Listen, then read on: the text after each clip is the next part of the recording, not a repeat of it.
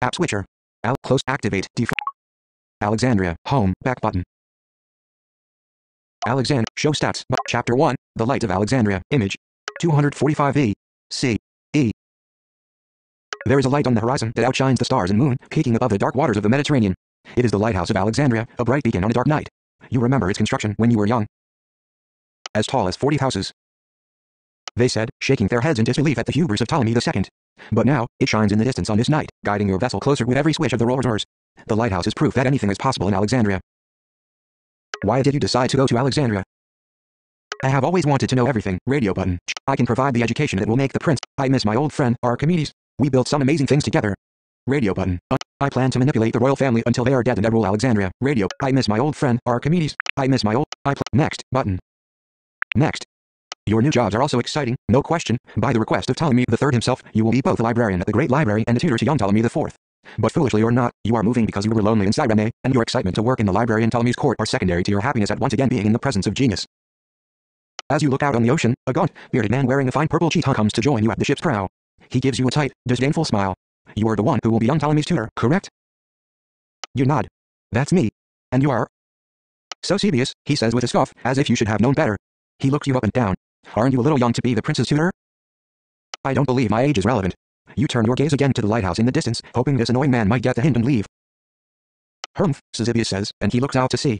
But you are young for someone with such an illustrious post. Ptolemy III was tutored by head librarian Apollonius, and even then he was much older than you are now. I'm not certain why you're telling me this, you say. You should simply understand that you cannot expect much advancement yet, Sosibius says. So when someone like myself, a man of no particular advantages or talents, is offered a position of power ahead of you, remember that I have at least been working a long time for it. If I become the prince's caretaker, do not attempt to deny me the influence that is my due. You should simply understand that you cannot expect much, and what will you do with that influence? Radio button, checked, 1 of 5. I will stay out of your way. Radio button, unchecked, 2 of 5. The, the prince can be our joint creation. What? It is I who will win power. Next, button. Excellent. Sosibius looks behind him, then whispers, the queen comes. Remember, she thinks highly of me, so you would do well to treat me with respect. Greetings, both of you. Queen Berenice II joins you at the ship's prow. Despite her regal title, Berenice prefers to dress like an athlete, her tunic doesn't even cover her knees. Such a chiton would have been scandalous in Cyrene, but you've heard women dress and act more like men in Alexandria. Ber- As your queen back in Cyrene, Berenice had gained a somewhat fearsome reputation, including a rumor that she killed her previous husband, Demetrius the Fair. But now the people of Alexandria talk only about their queen's legendary romance with Ptolemy III. You hear that in Alexandria, they love instead of fear her. The 20 odd oarsmen are from Cyrene, however, and they carefully avert their gaze from the queen to avoid drawing her attention. I see you two are getting to know each other, Berenice says lightly. My companion has remarkable wit, I can tell already, Sosibius says, bowing low to you in a way you're sure he would not have done minutes ago. But, I lack a name for this fine sage. Eratosthenes. Male, radio button, checked. What? Sophia. Female, radio. I'm a man by a different name, radio button. I'm a woman by a different name. Next, button. I'm a woman by a different name. I'm, I'm a man by I'm a man by a different, Sophia. Female. Sophia, check. I'm, I'm a, next, button. Sophist, since I taught many would-be politicians back home. Pythia, because they always come. Athena, Beta, because I, well, I do, is that what you like to be called? Berenice asks with a polite smile. Well, I do have a nickname, you say. My friends call me. Beta, because I am always second best at everything. Athena, because my inventions help defend Athens. Radio button. Uh, Pythia, because they always come to me for it. Athena, because my invention. Pythia, sophist, since I taught many would-be politicians back home. Eris, since I enjoy causing a bit of clever chaos now, by my real name, though, because my unflattering nickname had to do with how I've dissected cadavers. Radio button, unchecked, 6 of 6. Checked, next, button. How ghastly, Sosibius says, hand at his mouth. Show stat, how, Berenice, however, seems unfazed. You did what with cadavers, now? She says lightly, as if discussing carpentry. Just examining the interior bits in an effort to figure out how the body works, you say. I was very much influenced by the advice of my friend Archimedes, who suggested that the body may well operate on the same principles as Berenice looks surprised. Archimedes, the inventor? You know him? We were students at the museum at the same time. You're not in the direction of the lighthouse. In between classes, we would run off together to watch the lighthouse being built. Berenice follows your gaze to the lighthouse and smiles at some private memory. And what do you think of my husband's lighthouse? A granary for the Egyptians might have been a better plan. Radio button. I'm eager to perform some measurements from the top. Like Alexandria itself, it's a beacon of hope in a dark world. Radio button. Unchecked. Check. Next. Button. Sosibius rolls his eyes. Berenice smiles. I think so too, she says. The lighthouse doesn't just guide ships. It guides people, beckoning the best and the brightest. It says, here, we work wonders. Your conversation with Berenice is interrupted by a terrified yell from the rear of the vessel. Two Egyptians, one man and one woman, have crawled over the side and boarded the vessel next to the helmsman. You look around for the pirate ship, but you only see a trireme darkly lurking on the horizon behind the boat. They must have used a smaller dinghy, low to the water, to make the approach undetected. Pirates, Berenice says, drawing her dagger. Stay back, Sophia and Sosibius. Gladly, Sosibius says, and he flees below decks. The two pirates draw their curved swords, and the woman makes an aggressive gesture toward the helmsman. The old Greek sailor gets the point and backs away from the giant steering oar. We're just here for your cargo, the woman says. Stay right where you are. We'll be gone soon enough. The oarsmen look uneasily at each other and give a kind of collective shrug. I happen to have installed some anti-pirate traps on this ship. Radio button. Checked. One of, with my rhetoric skills, I convinced the oarsmen to stand up to the pirates. Radio button. Uh, Berenice can fight them. I will stand ready if she is injured. Radio button. Un next. Button. Berenice can fight them. Berenice. Next. Button. Berenice runs down the center of the ship toward the pirates. The Egyptians ready themselves for her charge, but at the last moment, she stops and throws her dagger at the hand of the woman, who drops her khopesh sword in surprise.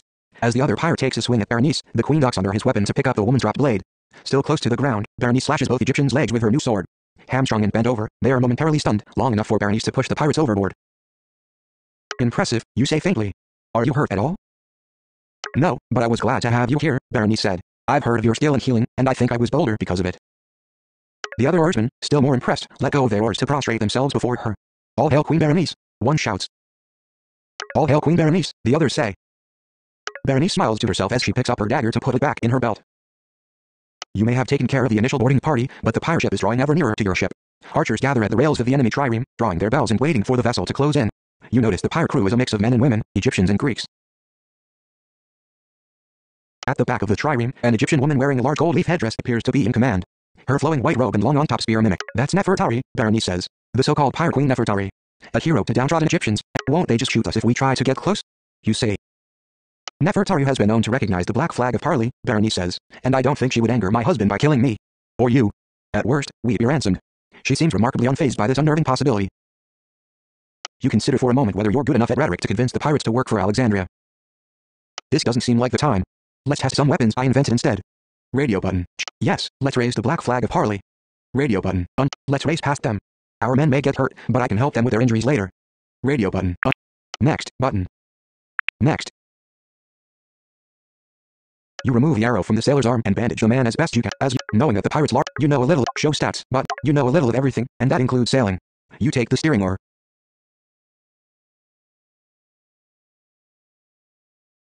Knowing that the pirate's large vessel will have difficulty turning about, you angle toward the pirate ship, then urge your rowers to row with all their might.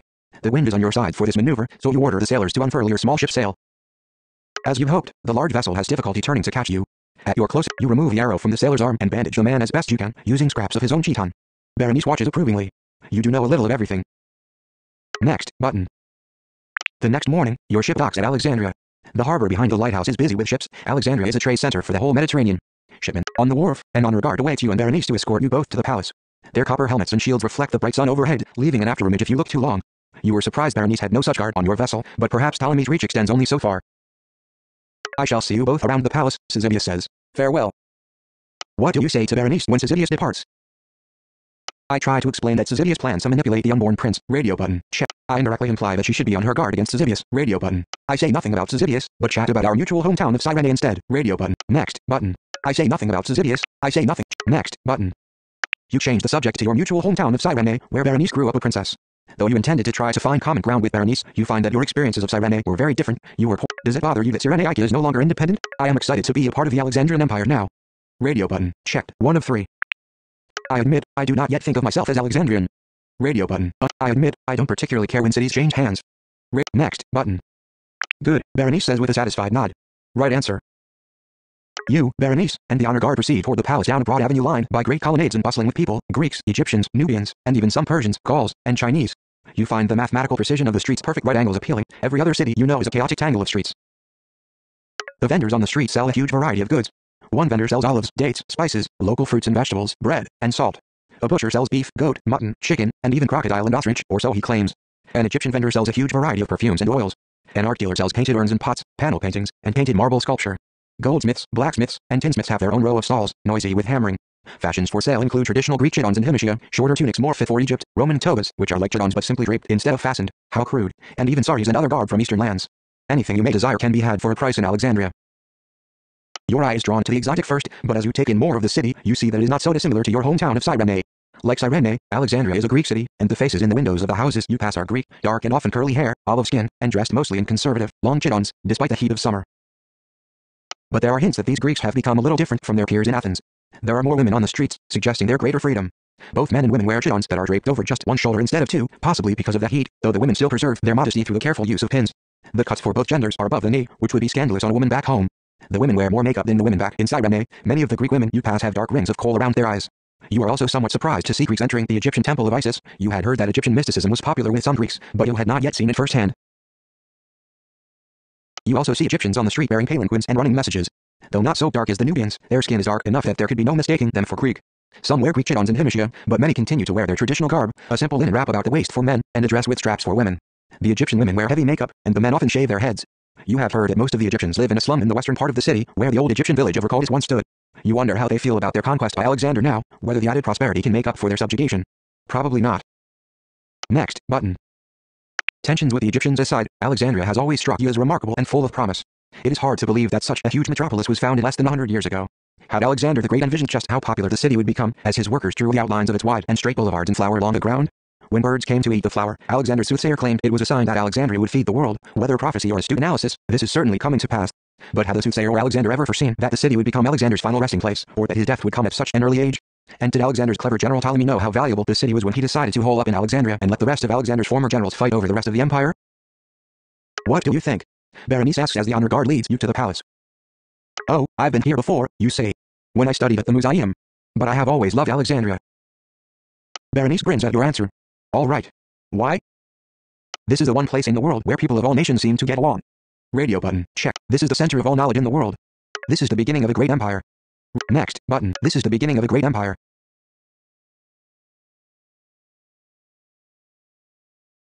This is this is this is the center. This is the one place in the this is the one place in the world where people of all nations seem to get along. Berenice grins at your answer. This is the one place in the world. This this ne next button. Next.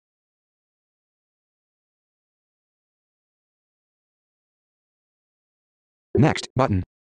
Berenice stops for a moment, forcing the honor guard to stop as well. Listen, this is important, she tells you. Once my son is born, your opinions will no longer be idle chatter. He must learn from you how to be a good ruler. Whether you favor the elites or the populace, whether you are an idealist or a pragmatist, he may come to mirror the opinions of his tutor. So choose wisely. Base Berenice stops for a moment, forcing the honor guard to stop as well. Listen, this is important, she tells you. Once my son is born, your opinions will no longer be idle chatter. He must learn from you how to be a good ruler. Whether you favor the elites or the populace, whether you are an idealist or a pragmatist, he may come to mirror the opinions of his tutor. So choose wisely. I will. Radio button, checked, one of three. Check. I should hope I will teach him to think independently enough. If he hangs on my every word, I will be pleasantly surprised. Radio button. I should hope I will teach him to think independently enough to have a mind of his own. Radio button. Unchecked. Two of three. I will. I should hope I will teach him to think. I. will, Berenice. They seem to get along. Berenice stops for a moment, forcing the honor guard to stop as well. Listen, this is important, she tells you. Once my son is born, your opinions will no longer be idle chatter. He must learn from you how to be a good ruler. Whether you favor the elites or the populace, whether you are an idealist or a pragmatist, he may come to mirror the opinions of his tutor. I, I, if, next, next, button. Berenice nods. Good. You continue with Berenice and your guard to the palace, a giant marble building with columns in the Greek style supporting a portico with an elaborate frieze. Coming closer, you see that the frieze depicts some kind of elaborate story involving both Egyptian and Greek gods founding the city. It seems early to create such myths, with the city less than 100 years old, but so be it. You walk through a large courtyard, between pools stocked with exotic fish. What do you think of this palace? When wealth creates beauty and knowledge, I approve. Radio button. Check. The wealth that built this place should have been used to feed the poor. Honestly, I'm thinking about math and have trouble paying attention to my surround. Next button. Honest. The when what you continue with Berenice and your what do you think of this palace? When wealth creates beauty and knowledge, I approve. Radio button. Checked. The on next button. You have no problem with a society that creates wonders.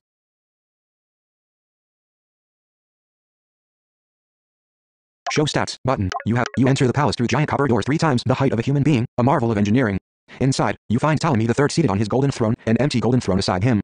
Ptolemy is a lean, strong-looking king, and he wears a golden laurel wreath and an indigo chiton, remarkably simple for such a powerful man. The thrones are flanked by two impassive royal guards bearing spears and shields. When he sees Berenice, Ptolemy III breaks into a wide smile and gets up from his throne. Berenice, he opens his arms, and Berenice runs to him. They embrace, and he whirls her around as if she were no weight at all. Thank you for coming, Sophia, Ptolemy III says as the two monarchs take their seats. My guards will see that your possessions reach the right place. You mentioned in your letter that I could name anything and you would do it if I agreed to be your unborn son's tutor, you say. Yes, Ptolemy says. What is it you wish? I accept on the condition that you provide a stipend for Archimedes to come visit. Radio button. Checked. I accept on the condition that you make it very clear to your son that my word is law.